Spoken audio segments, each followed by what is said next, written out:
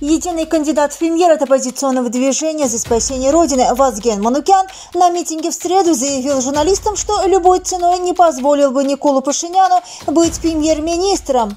Особенно, если бы возглавлял армию, но это было бы авантюрой. Этот шаг надо было сделать еще во время войны. 90% людей против Николы Пашиняна. Я бы его задержал, цитирует Манукяна «Новости Армения». По его словам, Пашиняну казалось, что отставка главы Генштаба решит проблемы, но это не так. Армия вновь подтвердила свое мнение о том, что Пашинян представляет угрозу для безопасности страны.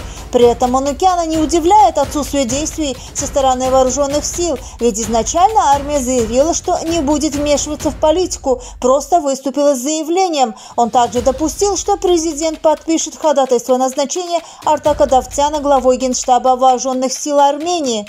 У нас очень плохой и опасный для страны премьер. Нет президента. Пашинян продолжит уничтожать армию. Удастся ли это или нет, зависит от нового главы Генштаба, отметил Манукян.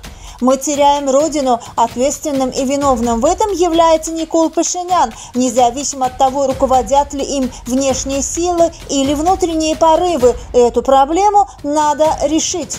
Манукян также исключил возможность компромисса между властями и оппозицией, заявив, что Пашинян должен уйти. Мне не о чем договариваться с Пашиняном. Внеочередные парламентские выборы при нем я считаю нелепостью. Выборы не только будут сфальсифицированы, но получится, что Пашиняну все сойдет с рук. Если он вместе с другими будет участвовать в выборах, это будет значить, что его вина не так уж и велика, заключил Манукян.